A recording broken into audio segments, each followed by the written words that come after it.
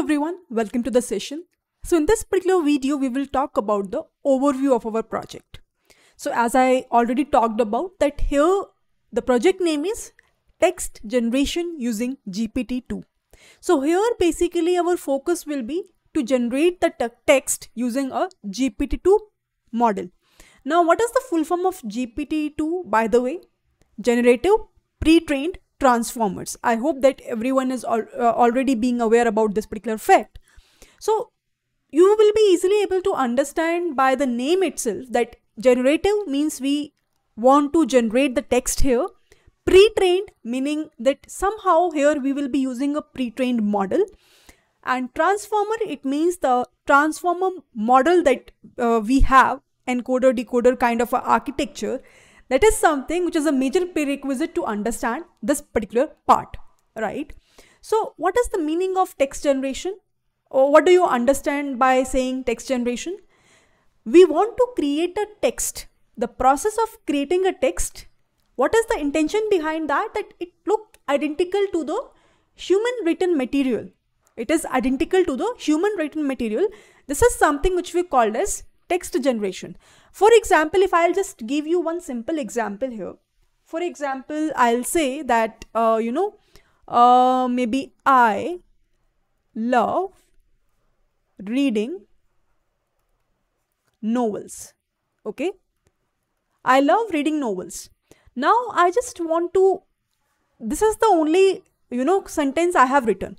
But what now I want is it will automatically be fill this particular sentence completely in a paragraph with the maximum length which we need to define that I will show you while doing the implementation. Maybe I'll say 100. So it means that 100 words will be there in the complete sentence that we have. So automatically here what we are trying to do by giving some sentence, what I want is I want my model to generate the text and how it will do that using the GPT-2. I hope that now it is clear that what is the meaning of a text generation that I am referring here. So here, one important thing that you have to make sure is that when I'm saying that model is generating the text, model is generating the text, you will observe that it is identical to just like a human being have said that. So human written text, then only we can say, right, this model is behaving pretty well. Very good example if I'll just, uh, you know, demonstrate you. Uh, I hope that you will be able to see an application in email as well that whenever we are writing any mail, automatically some suggestions are coming up to generate the complete text, to, to complete your line. All these things are happening just with the help of this particular concept only.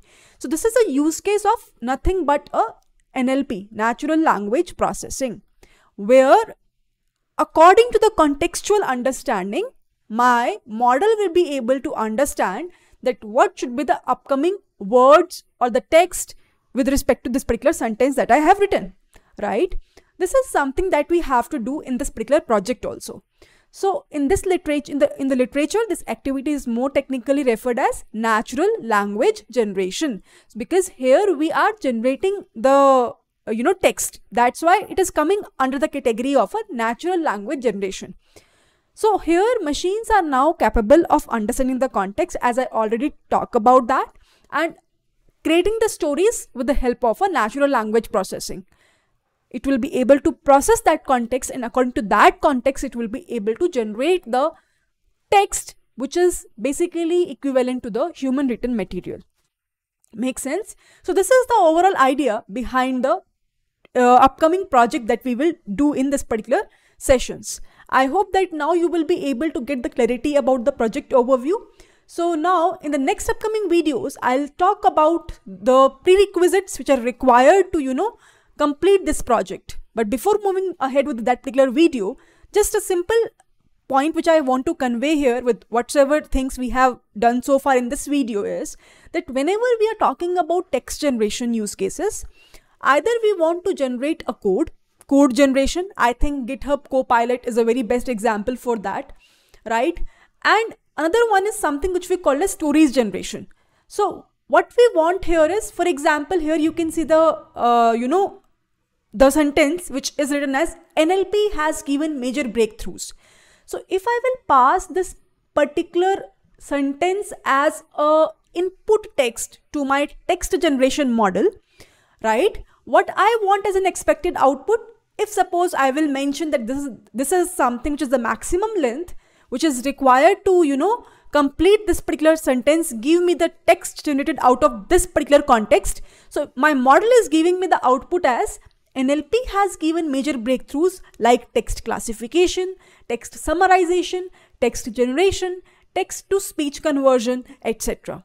So in this way, you know, my text generation model will grab the input text and will be able to give me the output which is contextually similar, which is just like a human being is giving me the proper idea that what this particular line or sentence is given is talking about, right?